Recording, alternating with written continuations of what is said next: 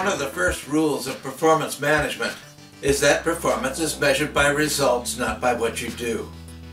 Commercial results only come about when you commit the necessary resources to do the productive work. Billy has enough money to take Betty to the movies. When she notes that she is famished, he spends some of it on a few slices of pizza. He won't be able to take her to the movies after all, as he no longer has enough money to buy their entrance. This is financial reality. Once resources are expended on one purpose, they're no longer available for direction elsewhere.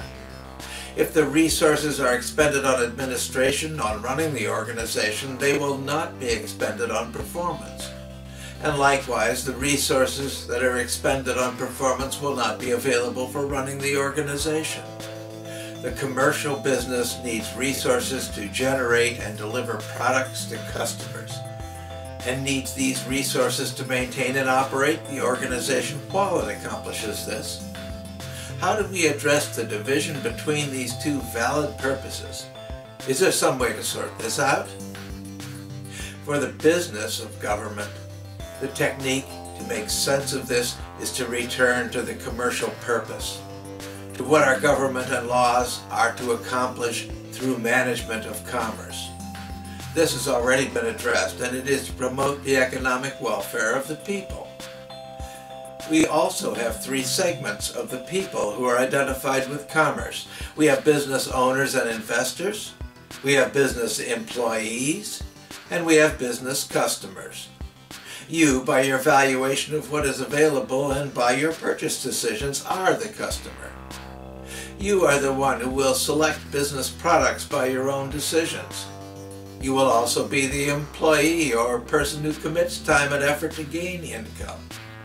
Even those who inherit their wealth still inherit what their parents and grandparents accomplished by committing their commercial efforts. You will also take part in part of what you have and you will save it or put it into retirement efforts or commit it to stock and bond ownership. You will be the owner and investor of businesses. The answer is that you are the one who is to benefit from operation of our commercial efforts. Ownership is in you and everyone who is like you in purchasing, in employment, and in eventual ownership. It is we the people who give purpose to our businesses, and we the people who are owners of our government, which is supposed to be managing our commerce for our benefit. As noted, there is only one real party and interest, and it is we the people. It is most definitely not some American aristocracy that is supposed to survive and prosper on the labor and investments of others. Our personal prosperity is not different than the prosperity of us as we the people. Neither is our personal prosperity different than if we are employees or customers. Both personal and public prosperity are the same human purpose. The question of who is neatly answered by what we value, and it is generally termed to be prosperity. Prosperity defines performance, and it is further defined by what people receive from our commitment efforts and by what people must commit in time and effort in order to gain what they value. Prosperity is that personal sense of value in our time and effort and in what comes to us. It is we the people who receive and value what our economy is able to provide us. It is we the people who commit our personal time and effort to productive use as business employees. It is we the people whose investments or ownership in commercial businesses is our means of storing wealth and maintaining prosperity we are both as individuals and as a body the only party in interest. Our universal question is how we maximize the value we receive from the time and efforts we commit to economic pursuits. We have two management answers to this universal question. The administrative management answer is that we improve what we are doing if we do things more efficiently and more effectively, then we can reap benefits from having improvement in our commercial performance efforts. The performance management answer is that we eliminate waste, that we cut costs where we stop doing things that do not contribute to desired performance. As a general rule, 80% of all real improvements come from ceasing to spend our time and energy doing non-productive efforts. Switching management from administrative to performance reduces costs to less than half. Focus on authority promotes authority. Focus on results yields results. When a performance manager directs coordinated efforts, the focus is on people working together. It is elimination of the wasteful efforts that arise when people cannot rely on each other doing some other part of a larger performance. There is a performance cycle to any commercial effort. The business receives income from sale to customers and it uses that income to generate goods and services that it delivers to its customers. The customers, in order to gain what they value, buy the output from the business, giving it what it needs to continue in operation. This defines the performance purpose for any commercial effort, and it is delivery of goods and services to customers in order to gain income that it needs to continue in operation. Customer decisions are based on how much they value the commercial outputs and what it will cost them to gain these. If you raise the price of goods and services, say by requiring your customers to wait in idleness for 20 minutes before you are willing to sell it, then fewer customers will decide to buy your products. Type 1 waste is requiring additional resources from customers, and it weakens the performance cycle then there is a potential for donating corporate output to charity or other non-customers. These donations produce no income for the commercial effort. The only way to pay for these outputs is to gain additional income from the customers. It is in terms of higher prices, which again discourages customers. Type 2 waste is delivery of output to non-customers. So where is management in this? Management is a cost of gaining performance through those who are doing performance. The internal purpose of management is supporting the corporate performance effort that completes the performance cycle. Expending on management is an internal investment, and good management can remarkably increase what performance efforts can produce and deliver to customers. Administrative management addresses running the business as a purpose. This requires the time and effort of employees but does not produce any output that goes to customers. It involves type 1 waste. Administrative management addresses the effective use of authority to structure the organization. This often requires internal services that do not yield any increase in productive output.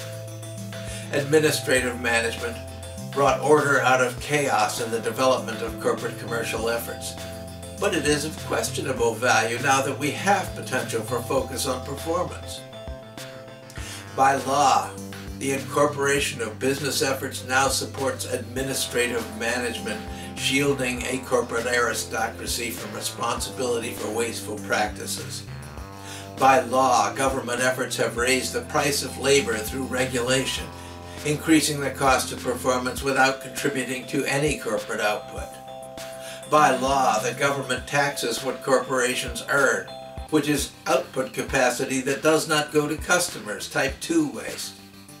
By law, the administrative interference of sovereign government has limited the choices of citizen customers by insisting on product requirements that are not universally valued by citizen customers. Many of these interferences, as in the product safety requirements, have recognized value but there seems to be few who address what such interferences cost the public and whether the regulatory requirement is a support for or detriment to we the people. Taking the choices away from citizen customers is misconduct in office. It is failure to represent the public or sovereign citizen. The government service that would have value is empowerment of citizens so that they are the, have recognized the value. and it is empowerment of citizens so that they can hold their corporate effort and corporate leaders personally responsible for any damages that they cause by their decisions. The differences between taking economic freedom from we the people and providing support services to we the people so that the economy serves them. We also have a corporate government, and it generally operates on the principles of administration.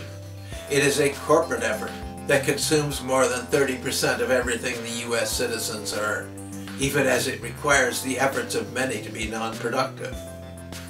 True to administrative thinking, the concept of management is one of improving what the various elements of government are doing. It yields little benefit. Performance approach would identify and eliminate waste. Having 125 million taxpayers spend eight hours a year doing their taxes equates to a billion man hours per year in citizen expense that produces nothing. It is about half a percent of the total productivity of the American people. It is not the cost of operating the IRS, nor the cost of the taxes collected and dumped into the Treasury. It is type 1 waste that it, this process puts on we the people so that the government can take what it will use up in its operation. This is wasteful government process that can be eliminated by more sensible approaches the general rule for bureaucracy is that the purpose of government is serving we the people. And where there is no service, the entire bureaucratic structure can be eliminated without reducing what people receive. And this is why empowering people is so scary to leaders. Having to serve the public instead of functioning as an aristocracy adds responsibility for what leaders do. It is not that these organizations can just be terminated. Many have functions that contribute reasonable support for we the people, and some do deliver value. It is just that the value is not being delivered to the people. The focus of modern administration is on running the government, not on delivery of goods and services to the sovereign citizens. Our investment in change should address what people value and how government is going to provide it. The empowered citizen focus will be on goods and services that people receive, not on authority structures and internal government operations. This course of study in law and government is an application of this empowerment effort. My function in preparation of this course is not to provide guidance and change, but to empower you as tomorrow's citizen owners of this nation to see what needs to be done and to come together with others who see the need to make it happen. There is nobody who can tell we the people what will have value beyond the general categories of freedom, prosperity, and support for family. The changes that will increase the value of government and legal management of commerce are otherwise for you to determine. Is there more value in resetting the EPA to serve public instead of the environment? or more value in redirecting the Department of Justice to serve the public instead of government leaders. Nobody can tell you where you will come to focus with others on improving the corporate business of government. Finding when and where you can achieve agreement is what you will learn as you work through the classroom discussions. You will learn it as you seek to find agreement with other U.S. citizens with whom you share ownership of this nation and its government. The burden of commercial law and government is on we the people, even if it is applied to the business entities that we own, or that employ us, or that generate goods and services for us to buy. We are the only party in interest, and we are also the ones who are entitled to receive the benefits of both our commerce and our government. We are the ones who can, whenever we are agreed, step into management over both our economy and our government to direct benefits for ourselves. As a special case, we have the business of government. What the government costs comes out of our productivity, but we as owners can step into management whenever we are agreed. We as owners can initiate such changes as will increase the value we receive from government and can decrease what it costs us to gain that value.